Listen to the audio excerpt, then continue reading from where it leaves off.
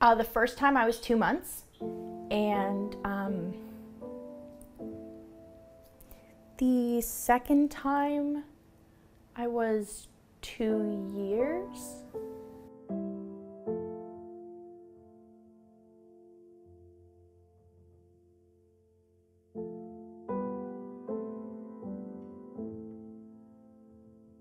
It was very hard.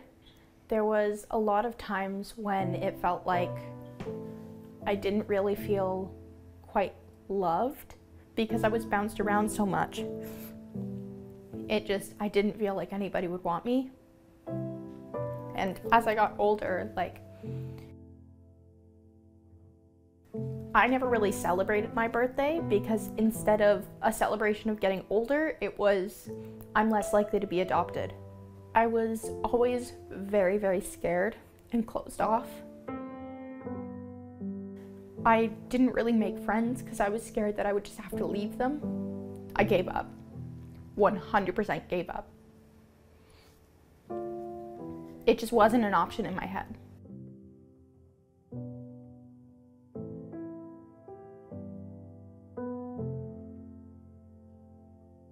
One of the things that I do remember appreciating was that Michelle uh, made the attempts to get to know me and make me very comfortable first um, before we started working on some of the harder stuff. When I first met with Rhianna on my own, I will never forget that experience because Rhianna told me that, like, I was nice and all, and I could come visit her uh, as long as we never talked about her past her current placement or her future.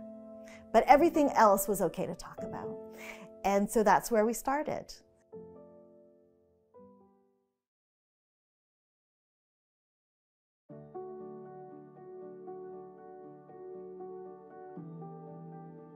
I, I, just brought it up just out of nowhere. I didn't even know if it was possible. I had nothing left to lose. So she said, So I've made some decisions and um, she goes, So you're like a mom to me. So, like, I'm choosing you. So I'd like you to be my adoptive mom. There were a lot of challenges because this was the first time that something like this happened in our agency. And there were uh, a lot of layers of potential conflict of interest and um, that we needed to go through. But I did feel that this was uh, worth fighting for.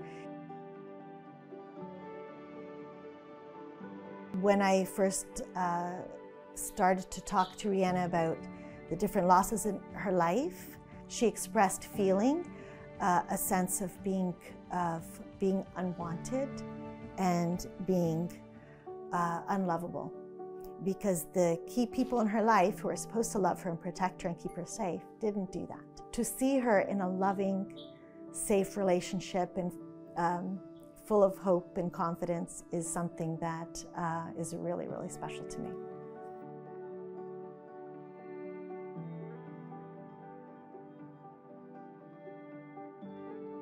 I know that I'm more stable now um, and I'm not leaving. I've actually made friends. When I just had my birthday, it was the first time I've celebrated my birthday. And it was my 18th